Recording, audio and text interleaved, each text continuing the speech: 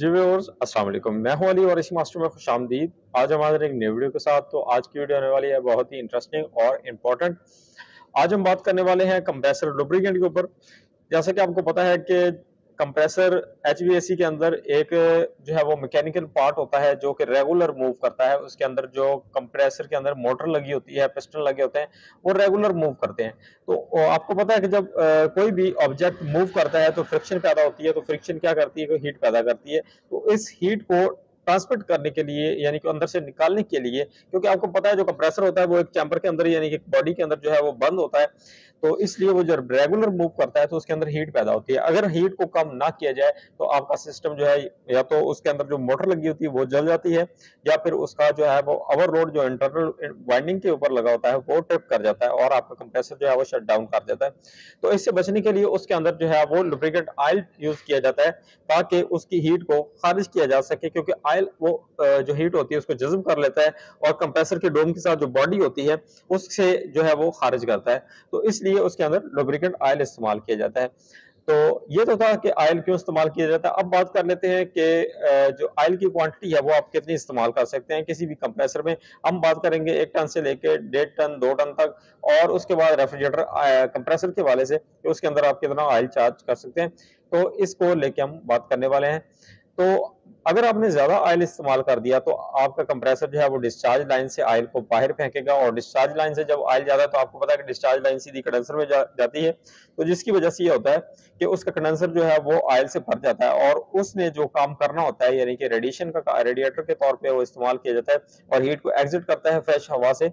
Change करके। तो वो काम जो है वो प्रॉपर नहीं करेगा क्योंकि जो ट्यूबिंग होती है, उसके ऊपर एक ऑयल की इनसाइड लेयर जम जाएगी जो कि आपकी हीट को अच्छी तरह बाहर नहीं निकलने देगी।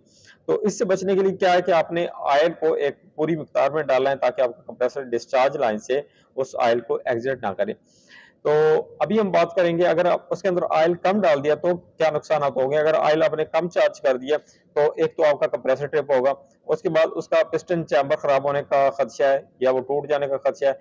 अगर आपने ऑयल कम इस्तेमाल किया तो काफ़ी देर आपका कंप्रेसर अगर बंद पड़ा रहा तो होगा क्या कि उसका जो है पिस्टन चैम्बर वो ड्राई हो जाएगा, और जब मोटर उसकी स्टार्ट करेंगे आप तकरीबन तीन चार माह बाद, अगर जब सीज़न आउट होता है तो उसके बाद आपको पता है कि चार से पाँच माह हमारा सिस्टम जो है वो बंद रहता है, चाहे वो रेफ्रिजरेटर हो। रेफ्रिजरेटर तो खैर इस्तेमाल होता है, लेकिन वो एसी और ज़्यादा टाइम बंद रहता है सर्दियों के सीज़न में। तो अगर वो चैम्बर जो है वो वहाँ तक आयल उसका लुब्रिकेंट ना पहुँचा, पहुँच रहा हो तो वो जब ड्राई होकर स्टार्ट लेगा तो क्या होगा कि वो अगर पिस्टन है तो वो टूट जाएगा, क्योंकि आपको पता है कि जब वो खड़ा रहता है स्टिल रहता है तो एक जगह पे वो स्टक हो जाता है और उसको जब स्टार्ट किया जाता है तो वो ज़ोर लेता है। अगर वो ड्राई होगा तो पिस्टन जो है वो टूटने का चांसेस है। अदरवाइज़ मोटर जल जाएगी और उसके बाद आपका कंप्रेसर जो है वो ओवर हीट होता रहेगा।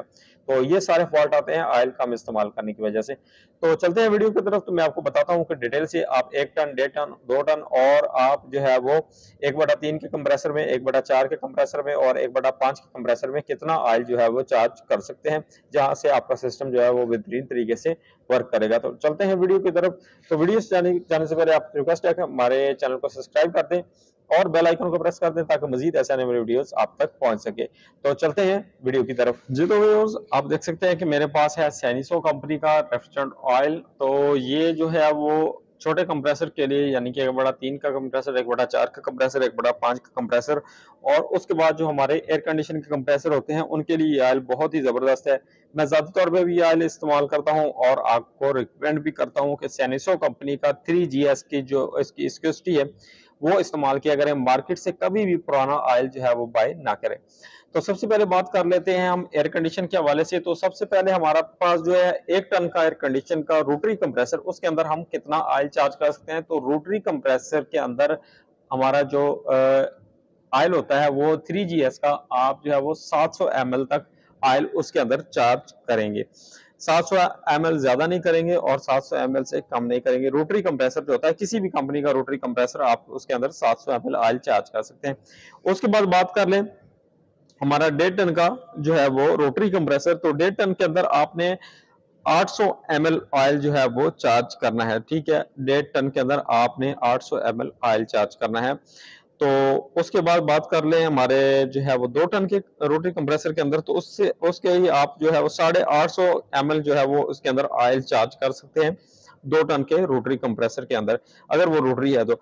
अगर ब्रिस्टल है, अगर ब्रिस्टल हमारे पास डेढ़ टन का है ब्रिस्टल जिसके अंदर पिस्टन लगे होते हैं तो डेढ़ टन के कंप्रेसर के अंदर जो है वो आप साढ़े आठ सौ एम चार्ज करेंगे और दो टन के जो है वो ब्रिस्टल कंप्रेसर के अंदर आप हज़ार एम चार्ज करेंगे। ठीक है?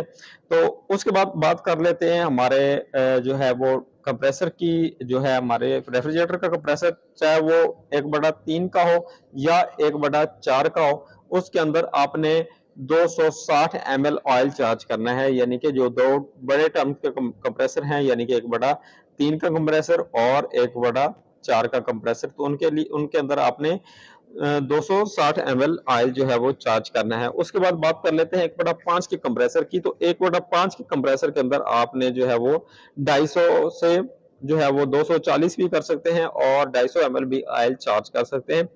तो इससे, इसके बाद बात कर लें हमारा जो है वो एक बटा आठ का कंप्रेसर या एक बटा बारह का।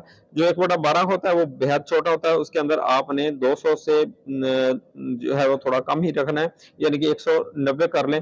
190 ml उसके अंदर आपने ऑयल चार्ज करना है और एक बटा आठ का और एक बटा छह का। इसके, एक बड़ा छह के अंदर आपने 200 तकरीबन 230 से 40 एम ऑयल उसके अंदर भी आप चार्ज कर सकते हैं, कोई प्रॉब्लम की बात नहीं है। और उसके बाद जो एक बटा आठ का यानी कि टी एल फाइव में आ जाता है टी एल सिक्स में आ जाता है, हमारे पास जो छोटे कंप्रेसर आ जाते हैं, उनके अंदर आपने 200 एम एल से ज़्यादा ऑयल चार्ज नहीं करना। वो फिक्स उसके अंदर 200 एम एल ही आपने ऑयल चार्ज करना है। तो आयल चार्ज करने से पहले मेरी रिकमेंडेशन है कि आप हमेशा ऑयल को गर्म करें 70 डिग्री तक 80 डिग्री तक गर्म करें, उसके बाद उसको जो है वो ऑयल को कंप्रेसर के अंदर डाल दें। ठीक है? तो हमेशा अच्छी कंपनी का ऑयल इस्तेमाल करें सेकंड हैंड ऑयल इस्तेमाल ना करें, क्योंकि सेकंड हैंड जो ऑयल होता है, पुराना ऑयल होता है, उसकी स्कोसिटी लेवल माइक्रोस्कोपिक लेवल पे खत्म हो चुकी होती है। क्योंकि आपको पता है कि जब मैकेनिकल पार्ट जो है, वो घिसते हैं कंप्रेसर के तो उससे अंदर से ब्रीक कचरा निकलता है। तो ब्रीक कचरा क्या करता है? वो उस ऑयल के अंदर जो है, वो मौजूद होता है, जो कि आपको आम आँख से नज़र नहीं आता। वो बिल्कुल आपको क्लियर लग रहा होता है, लेकिन उसका कलर इसी वजह से चेंज हो चुका होता है कि उसके अंदर कचरे की काफ़ी ज़्यादा क्वांटिटी मौजूद है। तो वो कचरा जो होता है, वो हीट को बाईपास होने से रोकता है। उसके अंदर जो बारीक पार्टिकल्स होते हैं, वो हीट की वेव्स को पार नहीं होने देते, जिसकी वजह से आपका कंप्रेसर का टेम्परेचर जो है, वो बढ़ता रहता है। तो इसलिए हमेशा फ्रेश ऑयल इस्तेमाल करें, कभी भी पुराना ऑयल इस्तेमाल ना करें और ऑयल को हमेशा गर्म करके इस्तेमाल करें, कभी चोकिंग का प्रॉब्लम नहीं आएगा और ना ही आपका कंप्रेसर हीट अप होगा। तो उम्मीद करता हूँ कि आपको वीडियो पसंद आएगी मेरे चैनल को सब्सक्राइब कीजिएगा और बेल आइकन को प्रेस कीजिएगा, ताकि मजीद ऐसे आने वाली वीडियोस आप तक पहुँच सके। मजीद अगर आपको क्वेश्चन हो तो वो आप कमेंट बॉक्स में पूछ सकते हैं, हम उस पर पूरी वीडियो बना देंगे। तो मिलते हैं नेक्स्ट वीडियो में। नेक्स्ट हम कंप्रेसर सीरीज़ पे बात करने वाले हैं। कंप्रेसर की आर सिक्स हंड्रेड की आर टू नाइनटी की और आर वन थ्री फोर के कंप्रेसर की। तो हम इस पे डिटेल इंशाल्लाह जो है वो वीडियो रिकॉर्ड करेंगे। तो मिलते हैं नेक्स्ट वीडियो में। दो में याद रखिएगा। अल्लाह हाफिज़।